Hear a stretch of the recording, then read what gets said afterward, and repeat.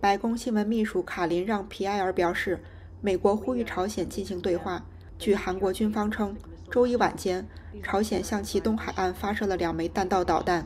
就在几个小时之前，一艘美国核动力潜艇抵达了韩国的一个海军基地。美国表示正在与盟友密切磋商有关朝鲜导弹发射的情况，并称其具有破坏性。美国军方在周一的声明中补充说，这些发射并未对美国人员、领土或盟友构成即时威胁。